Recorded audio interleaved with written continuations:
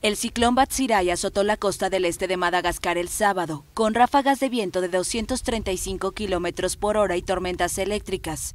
El Servicio Meteorológico en la gran isla del Océano Índico advirtió sobre los posibles daños generalizados.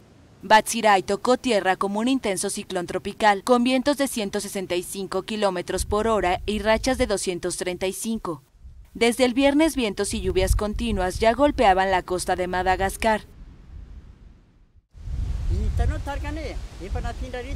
Soy viuda, no tengo marido, tengo dificultad para encontrar comida y mis hijos también.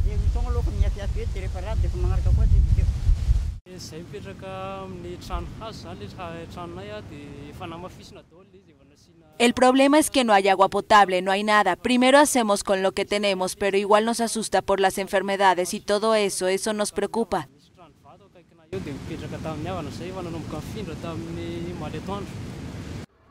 Los isleños aún se recuperan de la tormenta tropical Ana en enero, que también afectó a Malawi, Mozambique y Zimbabue, dejando un centenar de muertos, más de la mitad en Madagascar.